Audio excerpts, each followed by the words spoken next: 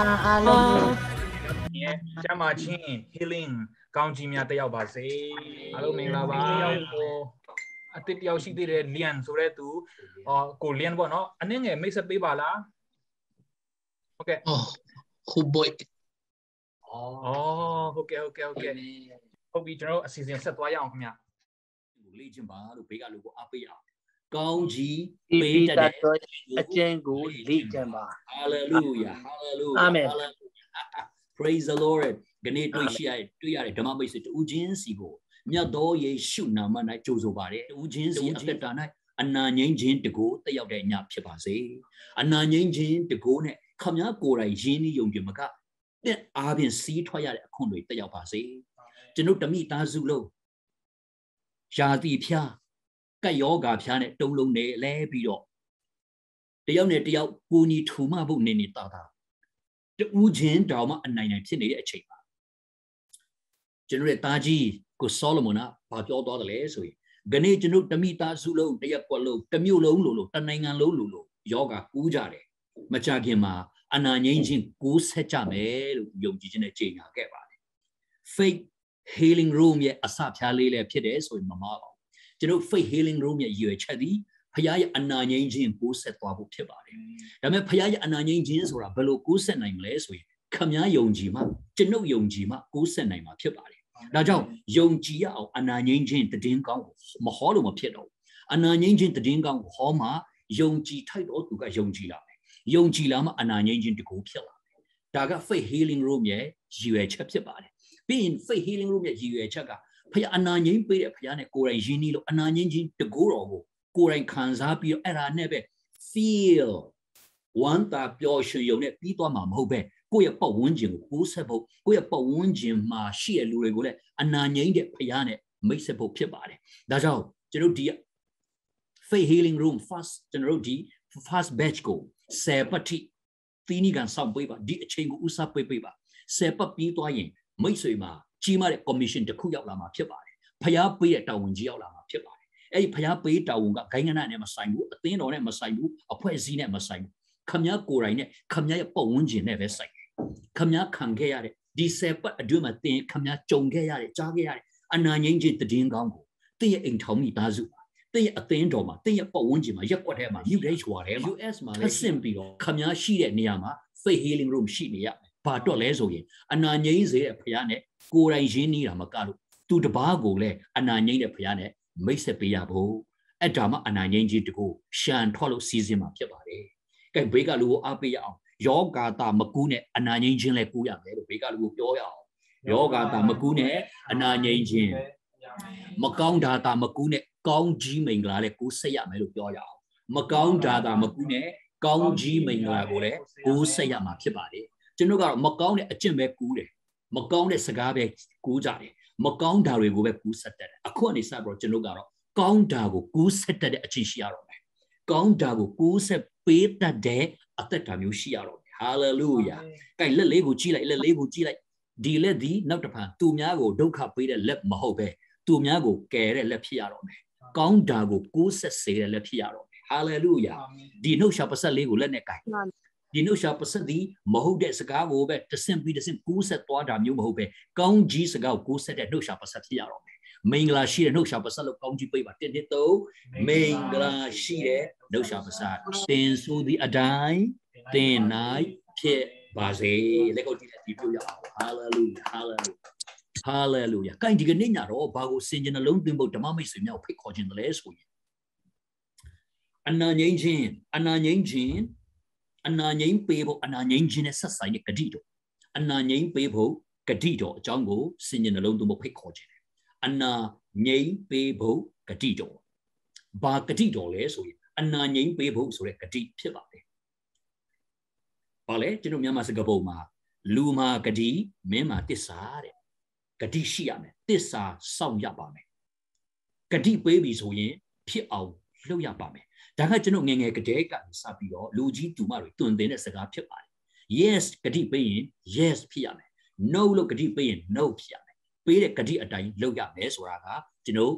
ငယ်စဉ်တောင်ကြီးဘဝကနေကြားလာခဲ့ရတဲ့ဆုံးမစကားဖြစ်ပါတယ်ဒီကနေ့ဂတိတော်တစ်ခုအကြောင်းဂတိတစ်ခုအကြောင်းပြောခြင်းအဲ့ဒီဂတိကခမည်းပေးတဲ့ဂတိတော့မဟုတ်ဘသူပေးတဲ့ဂတိလဲဆိုဖျားပေးတဲ့ဂတိဘသူကိုပေးတာလဲဆိုရင်ခမည်းကိုပေးတဲ့ဂတိ အာမင်အရှင်တို့မှာတော့ကိုကပဲဂတိပေးရတယ်အခုတော့မဟုတ်တော့ဖျားသခင်ကိုတော်တိုင်ကတင့်ကိုဂတိပေးပါတယ်ဘာဂတိပေးတယ်လဲဆိုအနာငိမ့်ပေးဖို့ဂတိပေးတာဖြစ်ပါတယ်ဟာလေလုယာဟာလေလုယာကျွန်ုပ်ဒီမင်္ဂလာရှိတော်သူငါဒီမင်္ဂလာရှိတော်ငါလို့ပြောရအောင်ငါဒီမင်္ဂလာရှိတော်သူဖြစ်ပါတကားငါဒီမင်္ဂလာရှိတော်သူဖြစ်တယ်လို့ပြောမယ်တင်းနေတော့ငါဒီမင်္ဂလာရှိတော်နောက်တစ်ချိန်ငါဒီမင်္ဂလာဆုံးတစ်ချိန် ငါဒီမင်္ဂလာရှိတော်သူဖြစ်ပါတယ်ဘာကြောင့်လဲ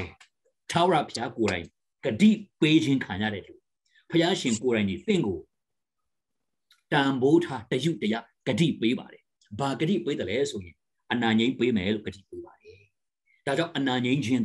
ခမည်းလိုခြင်းလွန်းလို့တောင်းတာမဟုတ်ပဲဖျားကိုယ်တိုင်ပေးတဲ့ဂတိတော်ဖြစ်ပါတယ်ပြန်ပြောပါမယ်အနာငိမ့်ခြင်းသည် ခမည်းကိုယ်တိုင်လိုခြင်းလွန်းလှတာမျှမဟုတ်ပဲဖျားသခင်ကိုယ်တိုင်အနာငိမ့်ပေးတဲ့အနာငိမ့်စေတဲ့ဂျဟောဝါရာဖာဖျားကိုယ်တိုင်ပေးထားတဲ့ဂတိဖြစ်ပါတယ်။ဒီနေ့သင်လည်းပဲဂတိတည်ရတယ်ဆိုရင်သာရဘုရားဒီဂတိတည်တော်မူမှာဖြစ်တယ်လို့ပြောရအောင်ဂတိ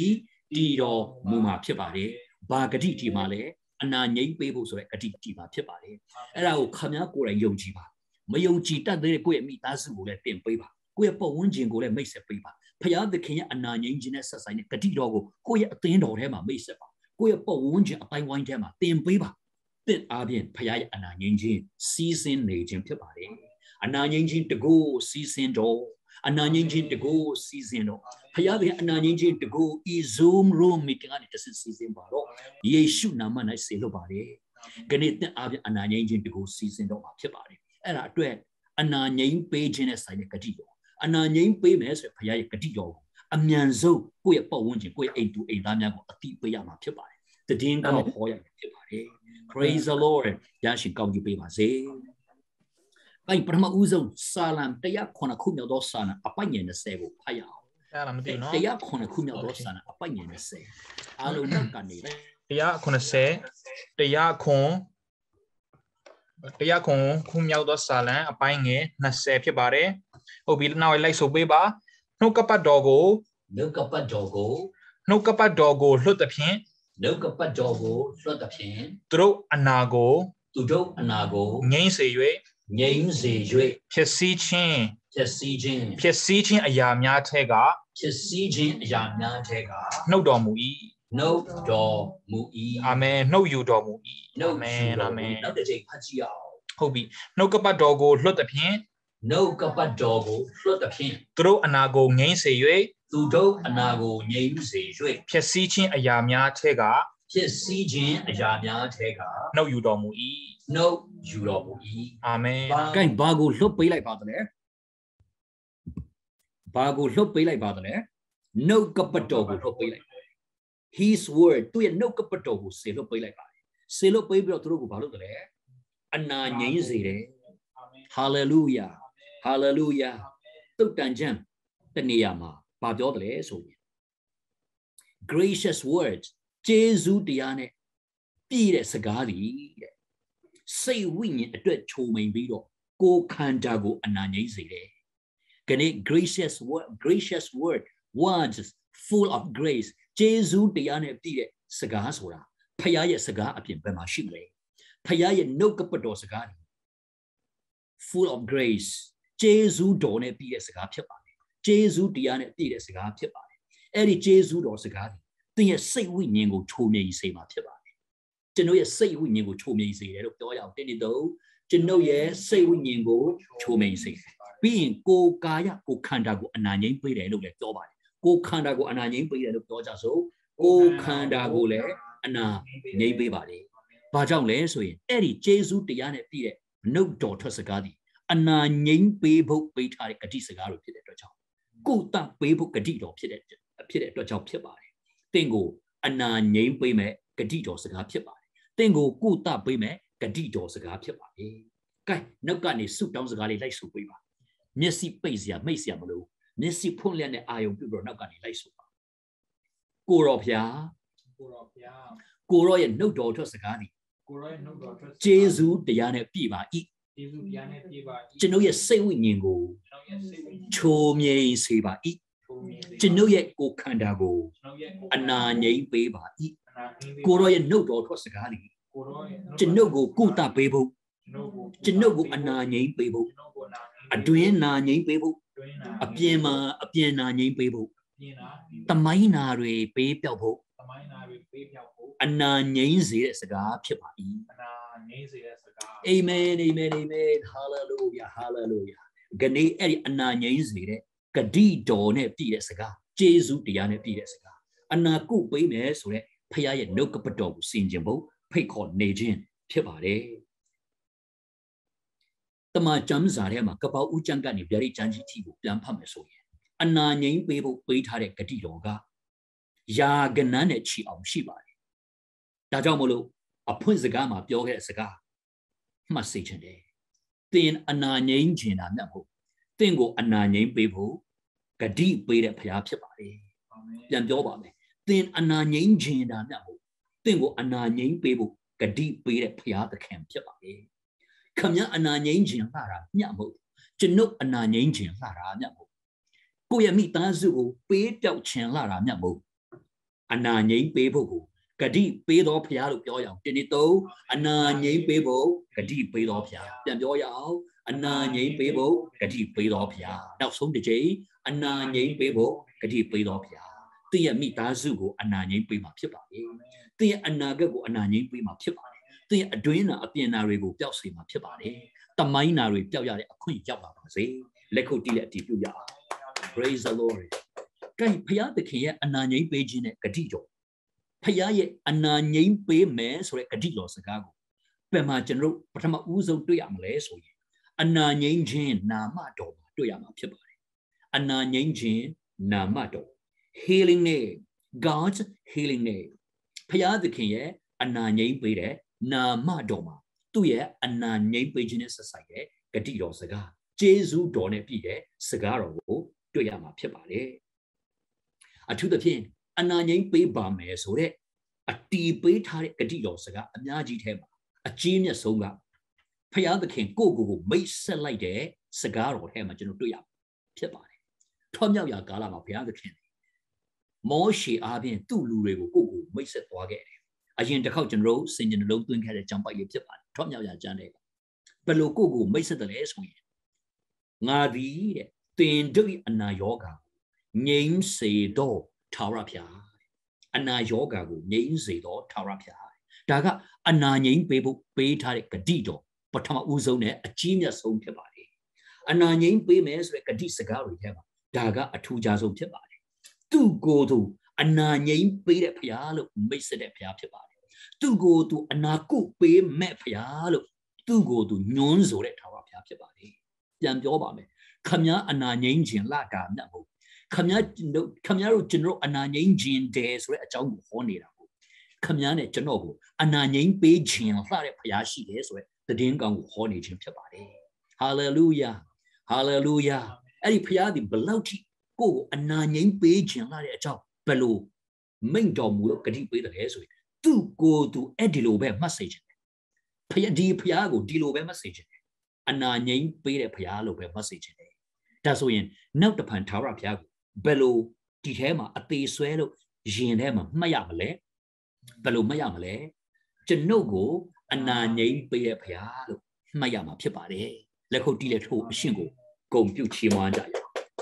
ထွန်းမြောက်ရာချအခန်းကြီး15အငယ်26မှာပြန်ဖတ်လှည့်ပါဒီနေ့တော့ကျွန်တော်ဒီတိုင်းပဲထားလိုက်ရအောင်အရင်တစ်ခေါက်ကျွန်တော်ဖတ်ခဲ့ပြီးသားဖြစ်ပါတယ်ဒါပေမဲ့အချိန်ရတဲ့အခါမှာသေချာပြန်ဖတ်ကြည့်သူ့ကိုယ်သူမိတ်ဆက်တဲ့အခါမှာတင်တို့ရဲ့အနာရောဂါကို ငြိမ်းပေးတဲ့ဘုရားလို့မိတ်ဆက်တော်မူတဲ့အတွက်ကြောင့်ထိုအရှင်သည်တင့်ကိုအနာငြိမ်းပေးမှာဖြစ်ပါတယ်။ဘာကြောင့်လဲဆိုတော့ဒါကသူ့ရဲ့နာမတော်ဖြစ်ပါတယ်။နာမတော်လို့ပြောတဲ့အခါမှာသူများမှဲ့တဲ့နာမမြတ်ကိုကိုကိုအဲ့ဒီလိုမှဲ့တဲ့ဘုရားဖြစ်ပါတယ်။ကိုကိုကိုအဲ့ဒီလိုမှဲ့တဲ့ဘုရားသည်သူ့ကိုယ်သူမှဲ့လိုက်တဲ့နာမတော်အတိုင်းဂတိတော်တည်ပြီးတော့အမှန်တကယ်ပြုတော်မူမှာဖြစ်ပါတယ်။အနာငြိမ်းတဲ့ညဖြစ်ပါစေ။အတွင်းနာပျောက်တဲ့ညဖြစ်ပါစေ။ အပြင်နာပျောက်တဲ့ညဖြစ်ပါစေ။အတိတ်ကဘဝအကြောင်းနာခဲ့တဲ့ညတမိုင်းနာခဲ့တဲ့ညတွေပျောက်သွားတဲ့ညဖြစ်ပါစေ။တင်မျက်ရည်ကြလို့နာကျင်ခဲ့ရတဲ့ညပျောက်သွားလို့မေ့ရတဲ့နေ့တွေရောက်ပါပါစေအနာငိမ့်တဲ့နေ့လို့ချိန်ကြရအောင်တင်းနှစ်သုံးအနာငိမ့်တဲ့နေ့နောက်တစ်ချိန်အနာငိမ့်တဲ့နောက်ဆုံးတစ်ချိန်အနာငိမ့်တဲ့နေ့ယေရှုနာမ၌ဘာအနာတွေငိမ့်မလဲဆိုရင်အတွင်းနာတွေငိမ့်သွားမှာဖြစ်ပါတယ် ဝိညာဉ်နာတွေငိမ့်သွားမှာဖြစ်တယ်လို့စိတ်ပိုင်းဆိုင်ရာနာကျင်မှုတွေငိမ့်မှာဖြစ်ပါတယ်ပြီးရင်ကိုယ်ခန္ဓာဆိုကိုယ်ခန္ဓာဆိုတဲ့အပြင်နာတွေလည်းငိမ့်ရမှာဖြစ်ပါတယ်ပြီးရင်တမိုင်းနာတွေလည်းငိမ့်ရမှာဖြစ်ပါတယ်တမိုင်းနာကျင်ခဲ့တဲ့များပေးပြောက်လို့တမိုင်းတင်တဲ့ဘဝဆာရတော့မှာဖြစ်ပါတယ်ဘေးကလူကိုပြောကိုယ်အနာဂတ်ကိုလှည့်ကြည့်လိုက်ချီးမွမ်းလိုက်လို့ကိုယ်အနာဂတ်ကိုလှည့်ကြည့်လိုက်ချီးမွမ်းလိုက်တော့အနာငိမ့်ခြင်းနဲ့ပြရတော့မှာဖြစ်ပါတယ်ခမည်းအနာငိမ့်ခြင်းတာနဲ့ ဘုရားရှင်ကအနာငိမ့်ပေးမှသိကြတယ်ဘာကြောင့်လဲဆိုသူ့ကိုယ်သူအနာငိမ့်စေတဲ့ဘုရားလို့မိတ်ဆက်တဲ့ဘုရားဖြစ်ပါတယ်ပြောတဲ့အတိုင်းဂတိတီမှာဖြစ်ပါတယ်ပြောတဲ့အတိုင်းဂတိတီမှာဖြစ်ပါတယ်ပြောရအောင်ပြောတဲ့အတိုင်းဂတိတီမှာဖြစ်ပါတယ်ဟာလေလုဘုရားကောင်းချီးပေးပါစေဒုတိယအနေနဲ့အနာငိမ့်ပေးခြင်းအနာငိမ့်ပေးခြင်းနဲ့ဆက်ဆိုင်တဲ့ဂတိတော်စကားတွေမှာအရေးကြီးတဲ့နောက်မှတ်စရာတစ်ခုက shalom shalom shalom ဆိုတဲ့ဂတိတော်ဖြစ်ပါတယ် the promise of shalom the promise of shalom လို့ခေါ်တယ် shalom shalom ဆိုတဲ့ဂတိတော် the promise of shalom shalom ဆိုတဲ့ဂတိတော် shalom ဂတိတော်ဖြစ်ပါတယ်ယေရမိအခန်းကြီး29ယေရမိအခန်းကြီး29အခန်းငယ်7ပြန်ပြောမယ်ယေရမိအခန်းကြီး29အခန်းငယ်17 ကဲနောက်ကနေလိုက်ဆိုကြည့်ရအောင်ယေရမိအနာဂတ်ကျမ်းခန်းကြီး29အငယ်7ဖြစ်ပါတယ်အငယ်7ယေရမိ29 7ဟုတ်ပြီနောက်ကနေလိုက်ဆိုပေးပါတဖန်မိန်တော်မူဒီကတဖန်မိန်တော်မူဒီကငါသည်တင်တို့ကိုငါသည်တင်တို့ကိုအကျိုးနဲ့စေခြင်းကအကျိုးနဲ့စေခြင်းကကြံစီသောအကြံမဟုတ်ပဲကြံစီသောအကြံမဟုတ်ပဲတင်တို့သည် တင်တို့သည်မျော်လင့်သောအကျိုးကိုမျော်လင့်သောအကျိုးကိုရမည်အကြောင်းရမည်အကြောင်းငြိမ်ဝတ်စေခြင်းဟာသာငြိမ်ဝတ်စေခြင်းဟာသာတင်တို့အဖို့တင်တို့အဖို့ကြံစီသောအကြံတို့ကိုကြံစီသောအကြံတို့ကိုငါသိ၏ငါသိ၏ဘသူဘသူသိတယ်လဲဘသူသိတယ်လဲငါလို့မိန်တော်မူတဲ့ထာဝရဘုရားကသိတယ်ဘာကိုသိတယ်လဲသူ့ရဲ့အကြံကိုသူသိတယ် အဲသူ့အကြံကိုသူသိတယ်လို့ပြောကြည့်အောင်တင်းနှစ်သုံးသူ့အကြံကိုသူသိတယ်ဒါဆိုသူ့ရဲ့အကြံကကောင်းသလားမကောင်းလားသူ့ရဲ့အကြံဖခင်ရဲ့အကြံစီတော်ကကောင်းသလားမကောင်းလား always good always good အမြဲတမ်းကောင်းတယ်ဘယ်သူအတွက်ကောင်းတယ်လဲဘယ်သူအတွက်ကောင်းတယ်လဲတင်တို့လို့အညုံခံရတယ်တင်နဲ့ကျွန်ုပ်အတွက်အမြဲကောင်းတယ်ဒါဆိုရင်ကျွန်ုပ်အတွက်အမြဲကောင်းတယ်လို့ဝန်ခံရင်မကောင်းလားကောင်းပါလေသဘောတူကြလား သဘောတူတယ်ဆိုရင်အတူဝန်ခံရအောင်ကျွန်ုပ်အတွက်ကောင်းတယ်လို့ဝန်ခံကြည့်အောင်တင်းနှစ်သုံးကျွန်ုပ်အတွက်ကောင်းတယ်ကျွန်ုပ်မိသားစုအတွက်ကောင်းတယ်လို့ပြောရအောင်ကျွန်ုပ်မိသားစုအတွက်ကောင်းကျွန်ုပ်လုပ်ငန်းခွင်အတွက်ကောင်းတယ်လို့လည်းဝန်ခံကြည့်အောင်ကျွန်ုပ်လုပ်ငန်းခွင်အတွက်ကောင်းပါတယ်ကျွန်ုပ်ရဲ့ရှေ့ဆက်အနာဂတ်အတွက်ကောင်းတယ်လို့ကောင်းပြောရင်မကောင်းလားပြောရအောင်ကဲကျွန်ုပ်ရဲ့ရှေ့ဆက်အနာဂတ်အတွက်လည်းကောင်းပါတယ်ဘာကောင်းတယ်လဲထာဝရဘုရားရဲ့အကြံစီတော်ကတင့်ရဲ့ရှေ့ဆက်အနာဂတ်အတွက်ကောင်း ကျွန်တော်တို့ကောင်းတယ်ဘယ်လိုကောင်းတယ်လဲဒါဆိုရင်ဘယ်လိုကောင်းတယ်လဲအခုနကကျွန်တော်ဖတ်သွားတဲ့ကျမ်းပိုက်ကိုတစ်ခါပြန်ကြည့်လိုက်ကိုယ့်ရဲ့ကျမ်းစာထဲမှာတေးသေးကြကြပြန်ဖတ်ကြည့်လိုက်ဒီကျမ်းပိုက်ကဝိဇ္ဇာနှစ်ကြောင်းပေါင်းဆက်ထားတာဖြစ်ပါတယ်အဲ့ဒီဝိဇ္ဇာနှစ်ကြောင်းကဆန့်ကျင်ဘက်ဝိဇ္ဇာဖြစ်ပါတယ်တစ်ခုကမဟုတ်ဝိဇ္ဇာဒုတိယကအဟုတ်ဝိဇ္ဇာအဟုတ်ဆိုတာကသဘောတူအတူအတီးပြုတ်ထားတာမဟုတ်ဝိဇ္ဇာဆိုတာကညင်းဆိုထားတာ sorry ပါ ဘာကိုသဘောမတူညင်းဆိုထားတယ်ဆိုရင်အအစပိုင်းကိုကြည့်အောင်ငါသည်တဲ့တင်တို့အကျိုးနဲ့စေခြင်းလားကြံစီတာဟုတ်သလားမဟုတ်ဘူးလားမဟုတ်ကြံစီတာဟုတ်သလားမဟုတ်ဘူးလားမဟုတ်ဘူးတဲ့ငါသည်တဲ့တင်တို့အကျိုးနဲ့စေခြင်းလားကြံစီတာဟုတ်သလားမဟုတ်ဘူးလားမဟုတ်ဘူးတဲ့မဟုတ်ရပါတဲ့မဟုတ်ဘူးအဲ့ဒါကိုညင်းဆိုထားပါတယ်ညင်းဆိုထားတယ်လို့ပြောရအောင်တစ်နှစ်သုံးညင်းဆိုထားပါတယ် ဘာကိုညင်းဆိုထားတယ်လဲ Yes sir. တင်အကျိုးနဲ့ရမှာကိုညင်းဆိုထားပါတယ်တင်အစင်မပြေမှာကိုညင်းဆိုထားပါတယ်အာဟာလေလုယာတင်ဝမ်းနဲ့ကြေပွဲမှာကိုဘုရားကညင်းဆိုထားပါတယ်တင်စိတ်ဓာတ်ကြလက်မိုင်ချမှာကိုသူညင်းဆိုထားပါတယ်တင်အားငယ်နေမိမှာကိုသူညင်းဆိုထားပါတယ်တင်အဆက်တကွဲအကျိုးနဲ့ဖြစ်သွားမှာကိုသူညင်းဆိုထားပါတယ်ပထမဝိဇ္ဇကအငင်းဝိဇ္ဇပါငင်းဆိုထားတာဘာကိုငင်းဆိုထားတယ်လဲဆိုသင်အကျိုးနဲမှာကိုငင်းဆိုထားတယ်ဒါဆိုရင် ကျွန်ုပ်အကျိုးနဲမှာကိုငင်းဆိုထားပါတယ်လို့ပြောရအောင်တင်းနှစ်သုံးကျွန်ုပ်အကျိုးနဲမှာကိုငင်းဆိုထားပါတယ်ဘယ်သူငင်းဆိုထားတာလဲခမည်းတော်ငင်းဆိုတာမဟုတ်ဖယားကိုယ်တိုင်ကငင်းဆိုတာခမည်းကိုအကျိုးမနှဲစေခြင်းနဲ့ဖယားဖြစ်ပါတယ်ဒါကြောင့်ယုံကြည်ခြင်းနဲ့နှုတ်ကနေတိုက်ဆိုပါကျွန်ုပ်ကိုကျွန်ုပ်ကိုအကျိုးမနှဲစေခြင်းနဲ့ဖယားကျိုးနဲ့စေခြင်းနဲ့ကျွန်ုပ်ကိုကျွန်ုပ်အကျိုးမနှဲစေခြင်းနဲ့ဖယားယုံကြည်တဲ့ဆိုရင်အတူဆိုကြည့်အောင်တင်းနှစ်သုံး ကျွန်ုပ်ကိုအကျိုးမနှဲစေခြင်းနဲ့ပြန်ပြောရအောင်ကျွန်ုပ်ကိုနောက်ဆုံးတစ်ကြိမ်ကျွန်ုပ်ကိုအကျိုးမနှဲစေခြင်းနဲ့ဖယားသင်အကျိုးနှဲသွားမှာကိုဘုရားကညင်းဆိုထားပါတယ်အလိုမရှိဘူးသင်ဝမ်းနဲ့သွားမှာကိုသူအလိုမရှိဘူးညင်းဆိုထားပါတယ်သင်အရှုံးပေါ်လို့အရင်ပြုတ်ထွက်သွားမှာကို မလိုလားလို့ညင်းဆိုထားတဲ့ဘုရားဟာလေလုယာ ဟာလေလုယာငါရဲ့ရှေ့ဆက်မှာချီးမွမ်းစရာတက်တက်ရှိတယ်လို့ပြောကြအောင်တင်းတစ်သုံးငါရဲ့ရှေ့ဆက်မှာချီးမွမ်းစရာတက်တက်ဖြစ်ပါတယ်။ဘာကြောင့်လဲဆိုတင်အကျိုးနဲမှာကိုမလိုလားတဲ့ဘုရားဖြစ်ပါတယ်။မိတ်ဆွေကောင်အကျိုးနဲမှာကိုလိုလားသလား။ကိုယ့်ရဲ့အမှုတော်လုပ်ငန်းမှာအကျိုးနဲသွားမှာလိုလားသလား။ကိုယ့်ရဲ့စီးပွားရေးလုပ်ငန်းအကျိုးနဲသွားမှာလိုလားသလား။ကိုယ့်ရဲ့အိမ်ထောင်မိသားစုအကျိုးနဲသွားမှာဘယ်သူလိုလားလို့တော့ဘေကလူကိုပြောဆရာထန်ဆန်းလည်းမလိုချင်ဘူးလို့ဘေကလူကိုကြိုပြော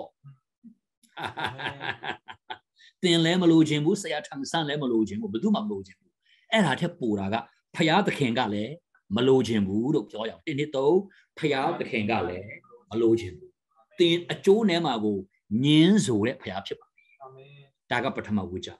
ဒုတိယဝိဇ္ဇကြတော့အဟုတ်ဝိဇ္ဇအတီးပြုတ်ထားတဲ့ဝိဇ္ဇခေါင်းငိမ့်တဲ့ဝိဇ္ဇ yes ထိုးတဲ့ဝိဇ္ဇအဟုတ်ဝိဇ္ဇအဲ့ဒီအဟုတ်ဝိဇ္ဇကပါတော့ တင်တို့ဒီမျော်လင့်သောအကျိုးကိုရဖို့မျော်လင့်ခြင်းနဲ့ပြရဖို့ပြောရအောင်မျော်လင့်ခြင်းနဲ့ပြရဖို့မျော်လင့်ခြင်းနဲ့ဘာနဲ့ပြရဖို့လဲ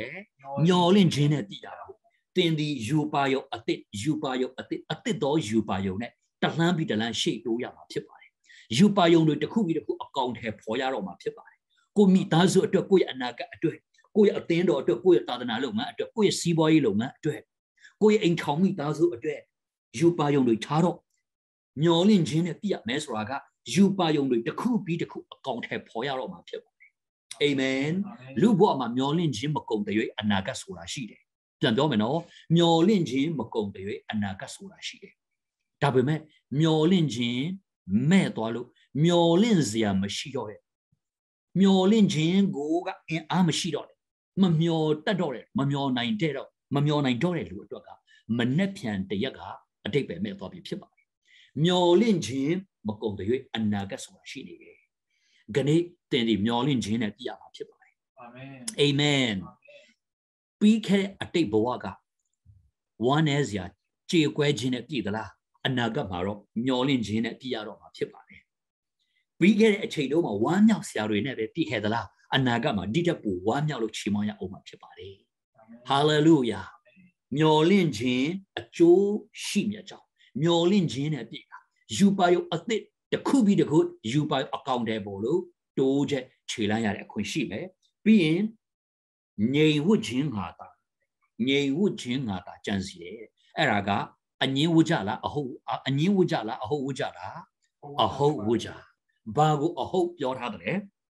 မျောလင့်ခြင်းနဲ့ပြီးဖို့ငြိမ်ဝတ်ခြင်းနဲ့ပြီးဖို့ဒါမဲ့တင်ညာမှာ ငြိမ်ဝတ်ဆိုတဲ့ဝဟာရက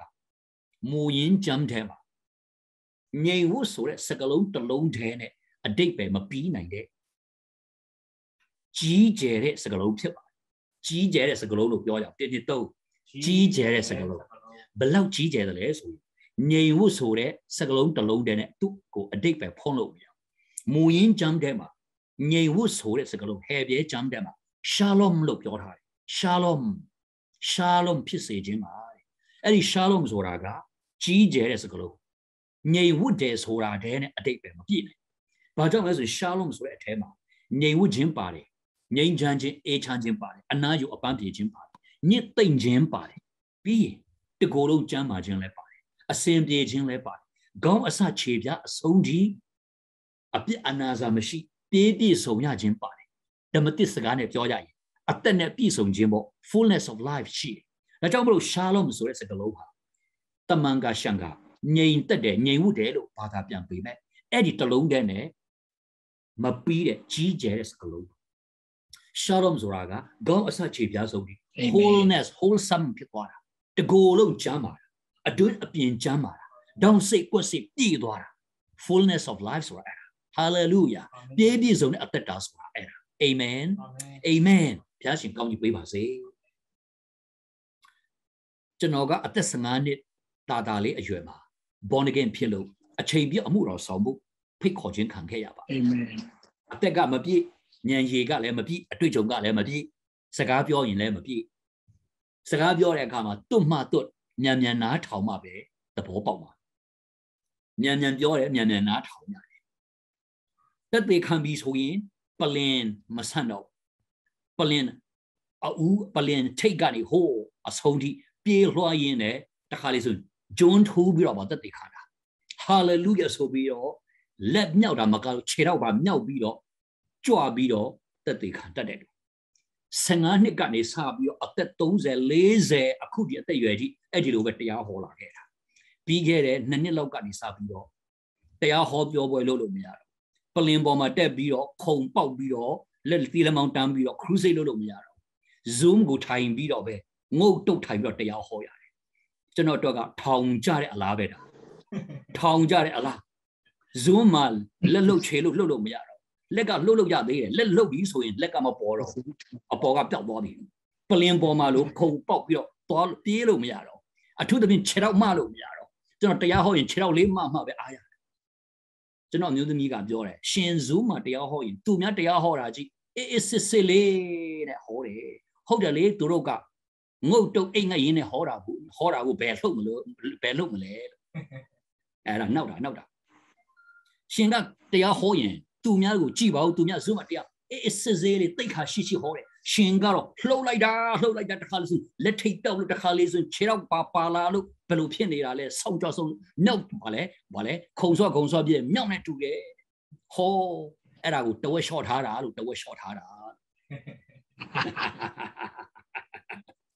ဒါကြောင့်မို့ရှေ့တိုးလိုက်နောက်ထိုးလိုက်လက်မြောက်လိုက်လက်ပြောက်လိုက်ဆိုရင်လည်းခွန်းလို့ပါလို့အဲ့ဒါတောင်မှဆရာထန်ဆန်းကတဝက်လျှော့တာလို့ဘေးကလူပြော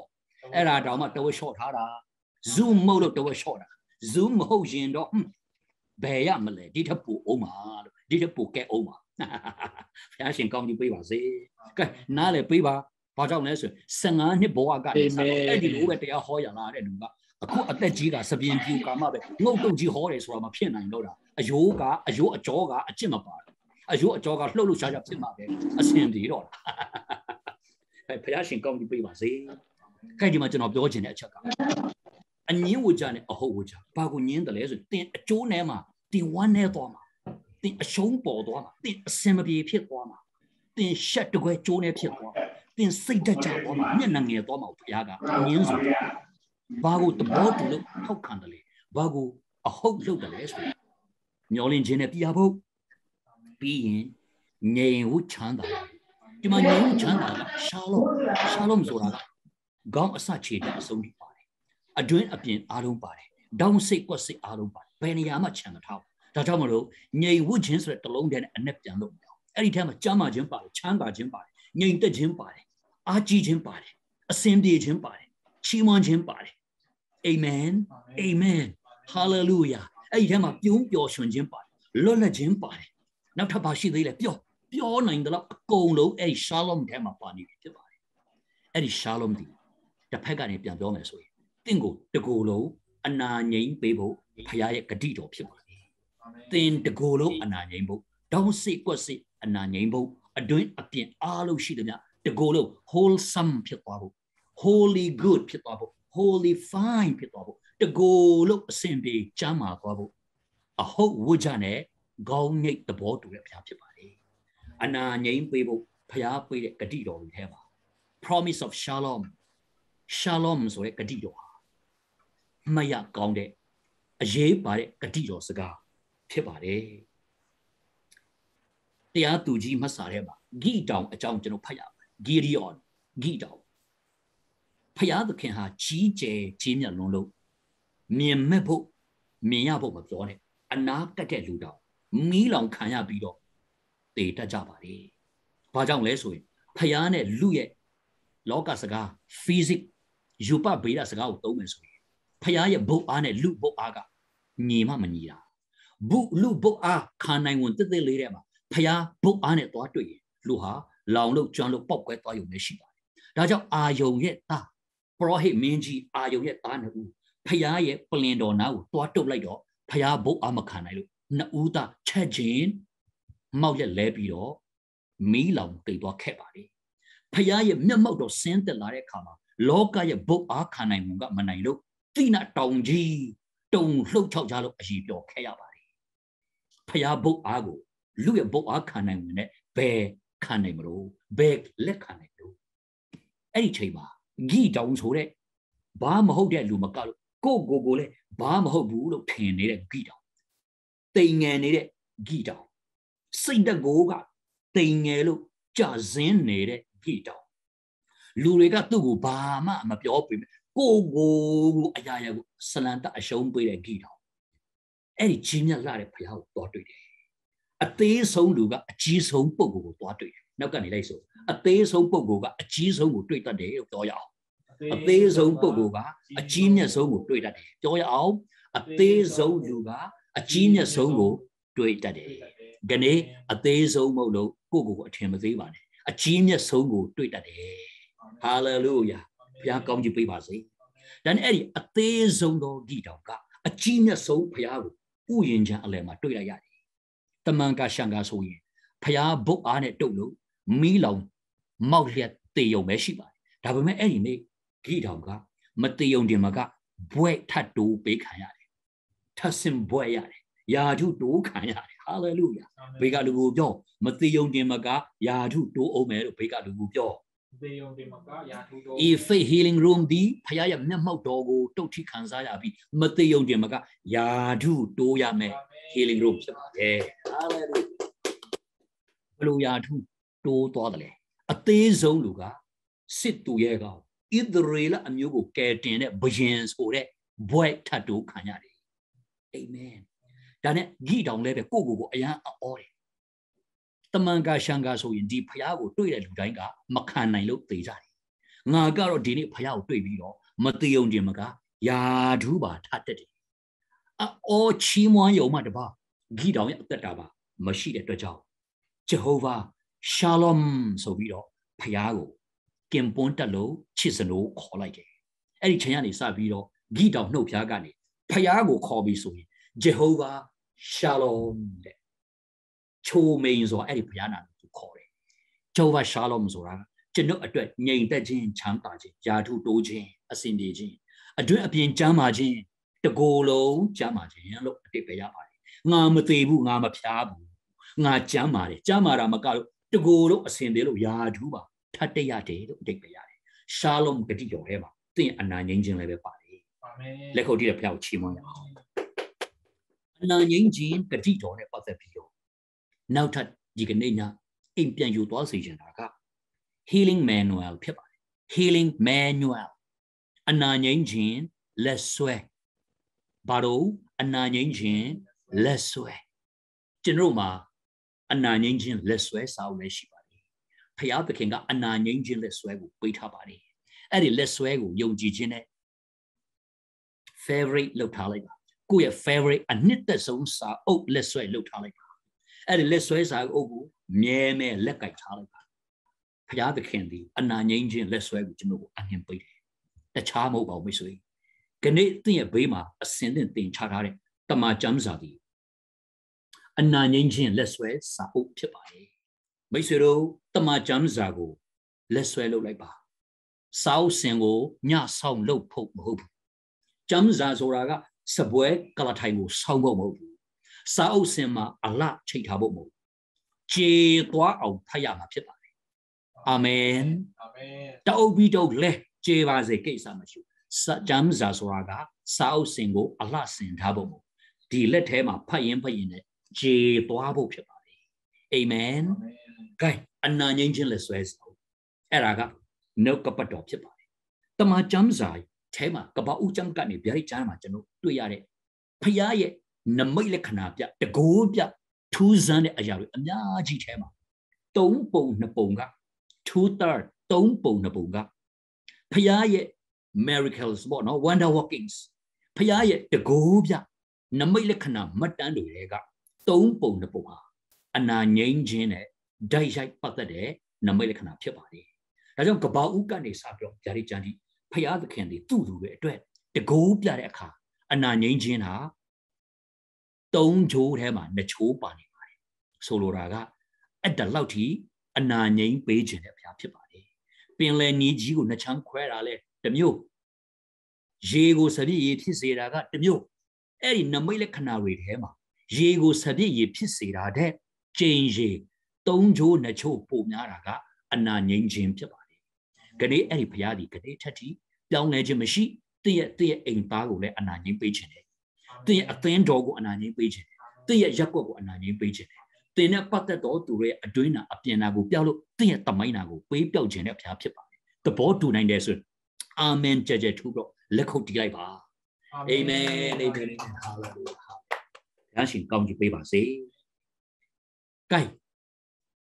တမန်ကျမ်းစာထဲမှာကျွန်တော်တွေ့ရတယ်ဖယားသခင်ရဲ့အနာငိမ့်ပေးခြင်းနဲ့ဆက်ဆိုင်တဲ့ဂတိတော်ဓမ္မဟောင်းကျမ်းမှာဓမ္မသစ်ကျမ်းမှာအများကြီးထဲမှာ selected တချို့ရှိပါတယ်ဒီကနေ့ကျွန်တော် PDF နဲ့ထုတ်ဖို့အစင်မသိတဲ့အတွက်ကြောင့်မလို့ Facebook group ကျွန်တော်ဒီ Facebook group ကနေကျွန်တော်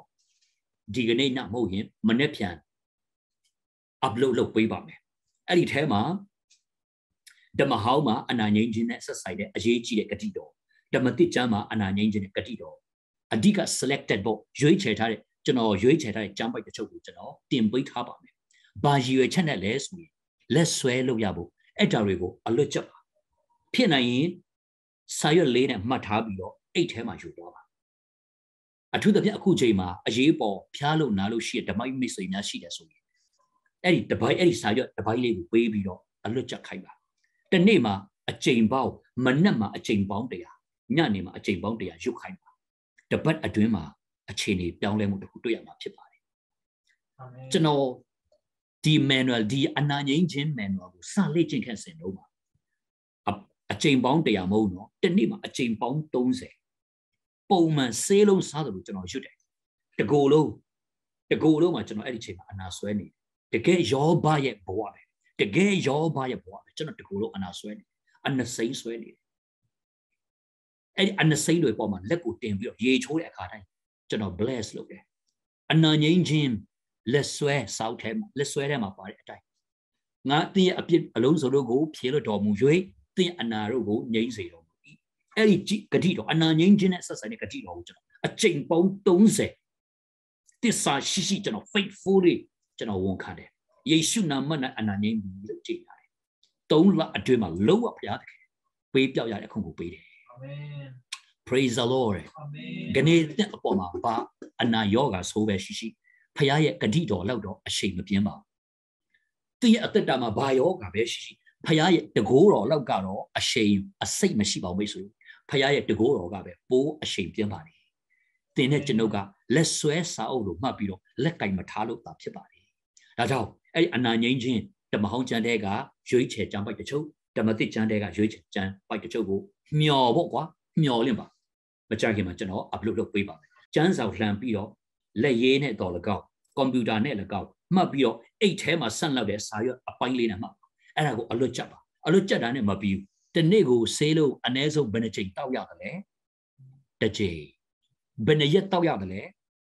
နေ့တိုင်းတချို့ဆိုမသေးမချင်းတောက်ရဆိုရင်နှုတ်ကပတ်တော်ကိုတော့အ ਨੇ ဆုံးမနေ့အချိန်တရာညနေအချိန်တရာဆေးလုံးလိုပဲတောက်လိုက်ပါသွေးတူယောဂတဲကတော့မှမနေ့တစ်ချိန်ညနေတစ်ချိန် တစ္ဆာရှိရှိဆရာဝန်ပေးတဲ့ဆေးကိုအညွန့်ကိုတောက်တာပဲခနေ့ဆရာထန်ဆန်းညွှန်းလိုက်တဲ့ဝိညာဉ်ဆေးလုံးဂတိတော်ကိုမနေ့အချိန်တရာညနေအချိန်တရာတစ္ဆာရှိရှိဆိုကြည့်ပါတပတ်အတွင်းမှာသင်အသက်တာမှာပြောင်းလဲလာတယ်ဒီမှာကတလအတွင်းမှာသင်ရဲ့ပတ်ဝန်းကျင်မှာလဲအနာငိမ့်ခြင်းတကူစီထွက်လာတာဖြစ်ပါတယ် faith healing room ရဲ့ရည်ရွယ်ချက်ကသင်ကိုယ်တိုင်ဒီအနာငိမ့်စေတဲ့ဖရားနဲ့ရင်းနှီးရမယ်ပြီးရင် သင်ရဲ့ပတ်ဝန်းကျင်မှာလည်းပဲဖရားရဲ့အနာငိမ့်ပြတဲ့ဖရားနဲ့ရင်းနှီးမိတ်ဆက်ပေးရမယ်ဆိုတာကကျွန်တော်ရဲ့ရည်ရွယ်ချက်နှစ်ထွေဖြစ်ပါတယ်အသင်းတော်နဲ့မဆိုင်ဘူးခံများတူတဲ့နဲ့ဆက်ဆက်တယ်။ဂိုင်းကနအဖွဲ့အစည်းအတွက်ပေါ်တာခမည်းကိုယ်ရဲ့အတွက်ဖြစ်ပါတယ်လားအာမင်ကိုယ်အိမ်မှာလှုပ်လို့ရတယ်ကိုယ်အသင်းတော်မှာလှုပ်လို့ရတယ်ကိုယ့်ရဲ့ယုံမှာလှုပ်လို့ရတယ်ကိုယ့်ရဲ့ရက်ကွက်အဆင်ပြေတဲ့နေရာမှာလှုပ်လို့ရတယ်ဘုရားရှင်ကောင်းကြီးပေးပါစေပေးခြင်းအနာငြိမ်းခြင်းတာမြတ်မို့တင်တဲ့ကျွန်ုပ်ကိုအနာငြိမ်းပေးဖို့ဂတိ ပေးတဲ့ထာဝရဘုရားချီးမွမ်းတင်တယ်လို့ကျွန်တော်ယုံကြည်အားလုံးလက်ကိုညှောက်ပေးစေချင်တယ်မြတ်စွာချရဲ့မျက်စိမိတ်လိုက်